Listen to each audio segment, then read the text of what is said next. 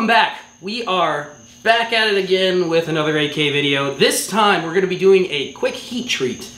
Um, so if you buy a receiver from like a factory, uh, factory made AK, typically what they're going to do is a full heat treat. They're going to put the receiver in a kiln, heat it up, cool it off, make sure everything's hardened, and then temper it.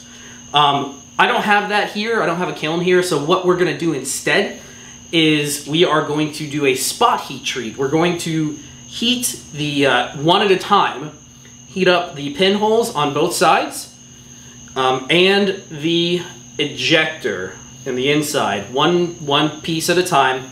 Heat them up till they're cherry red, dip it in water to quench it, um, and we'll do all five pieces like that, and then we're gonna heat everything up to kind of a dull gray. Uh, you want it to be about, I don't know, six, 700 degrees. Um, so that can all be done at the same time, and then let it cool to room temperature on its own. That will temper it.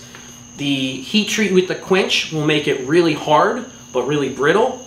The tempering where you heat it up and cool it back down will then relieve some of that brittle stresses that are in the metal from heat treating and quenching. Um, so it's, it's pretty straightforward.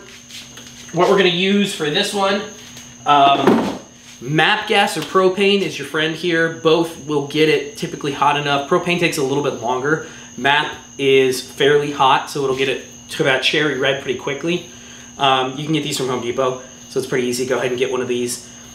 Like I said, heat it up cherry red, quench them one at a time. Heat everything up till it's dull gray. Let it all cool down to room temperature on its own, which will take a little bit of time. And you're done. The whole process is done. And then we finally get to move on to populating the barrel. So let's bring you in and get started on heating one of these up. All right, so we're going to temper. Uh, we'll start with the back hole, just because I feel like it. Um, we got our MAPP gas. I'm running pretty low on MAPP gas, so of course it's going to run out on me during this. Watch me. Knock on wood, hopefully it doesn't. But we're going to see what we can do. So we're going to get this hole here red, red hot.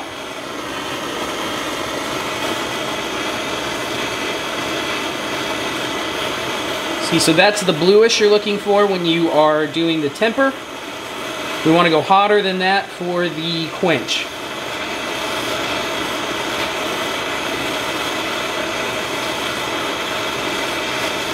We want it sort of an orangey cherry color.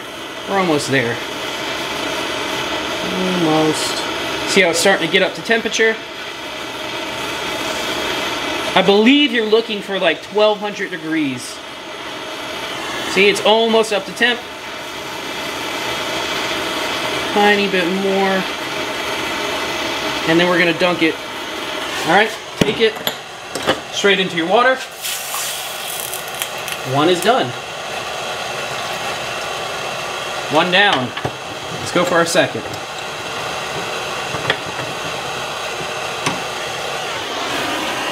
And the nice thing about doing a water quench instead of an oil quench is you can see how much quicker I can just go back to heating. If you do an oil quench, it will work just fine, um, but you have to clean everything off, clean it with solvent and everything so you don't light it on fire. Water quench works a little bit easier.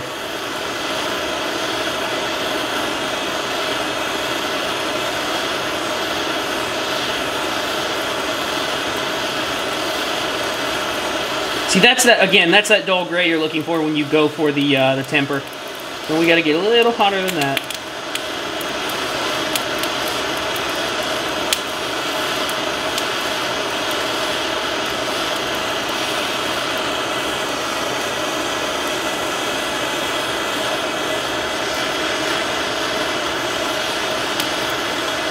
It's getting there.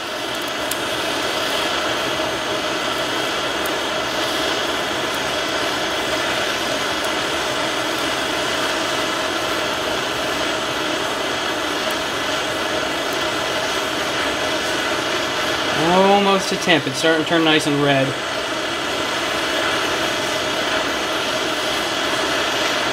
Trying to get a little more on the bottom. So everything on this is going to act like a giant heat sink. So you're trying to get it nice and evenly cherry red.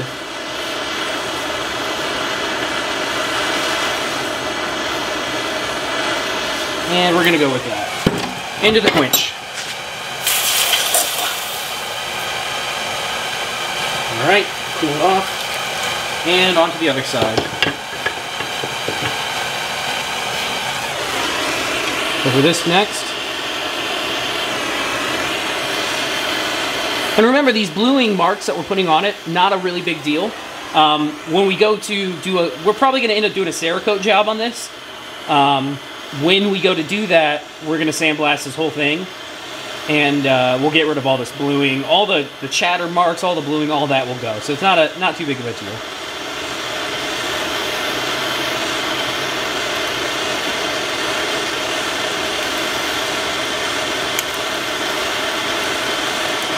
You hear the water on the inside starting to heat up and, and pop and boil out.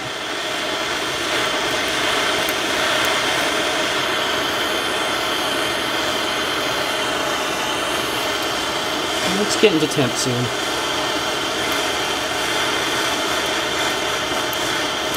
This one you can see a lot easier. Turn, starting to turn cherry red. Almost there. Almost, almost, almost. We're gonna quench.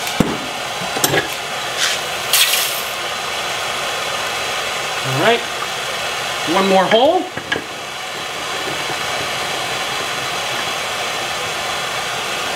And then we're gonna go, uh, hopefully, I'm not sure if you guys can see on the camera, we're gonna do the, uh, the, um, extractor. I'm sorry, ejector. I always want to say extractor.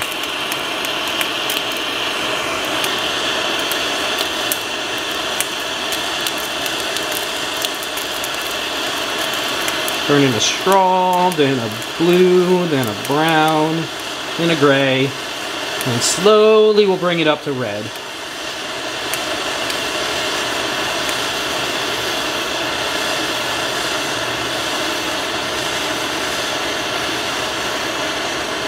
And the good thing, one good thing about using MAP versus using something like an oxyacetylene torch is MAP doesn't run as hot. Oxygen if you're not careful, you're going to burn right through this, this little bit of sheet steel. So uh, MAP gas isn't super, super hot, but it's hot enough to bring this up to temp quickly. I'm trying to do circles around it if you can't tell. It probably looks like I'm just having a seizure. But I'm, try I'm trying to do nice circles so it gets evenly heated.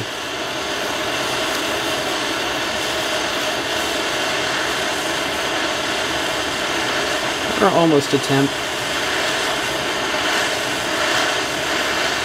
And we'll quench.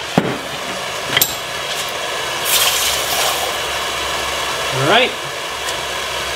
Quench those off, and you got a nice blued receiver now. Uh, so last thing we're going to do, not sure, still, in, still good?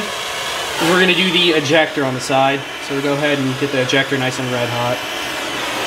I'll do it without getting everything done.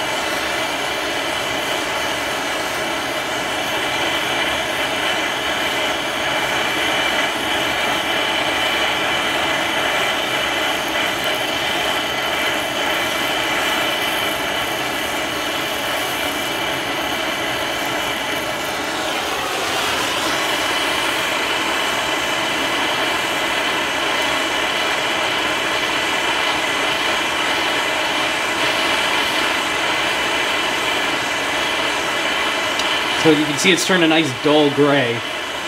We've got to take it from that dull gray to the next step, which is a good cherry red. Which we're almost there. I can see it starting to change on the tip.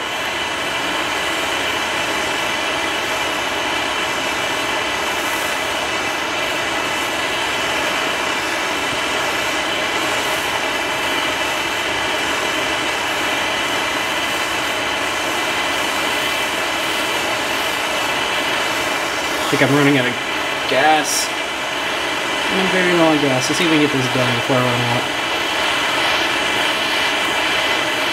Almost there.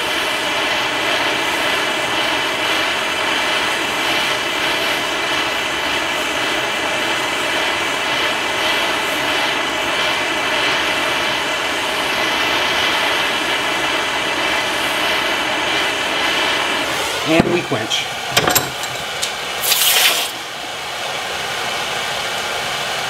Alright. Everything should be good and hard now.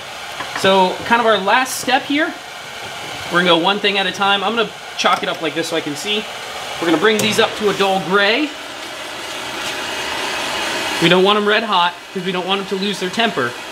And bring them up to a dull gray and let them uh, let them cool naturally.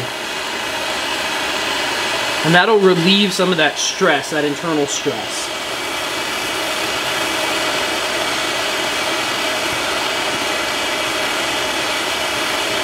Should be that one. Let's do this one.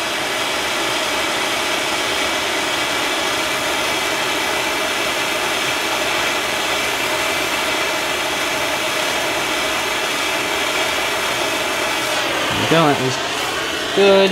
We'll do this next.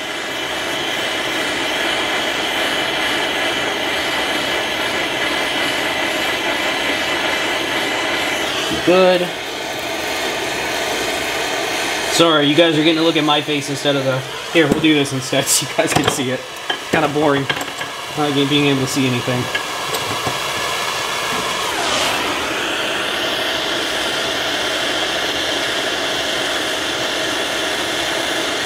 This is kind of the hardest thing because you're not, it's easy when you're looking for a bright red. It's kind of hard to tell what you're looking for when you're looking for a dull gray. Right about there, you see the gray starting to spread. Do the same over to here.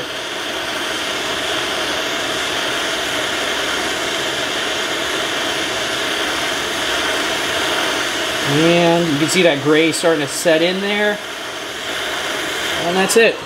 You can see the two holes where the, or the two spots where that gray starts to set in. That's pretty much it. We now let it cool until it's room temperature. That will temper the steel back down so it's, it's hard but not brittle. Um, and we're ready after this to move on to populating the barrel. Finally, we're going to start populating the barrel. That's pretty much it. Um, heat treating and tempering is pretty simple if you got MAPP gas and a little bit of water.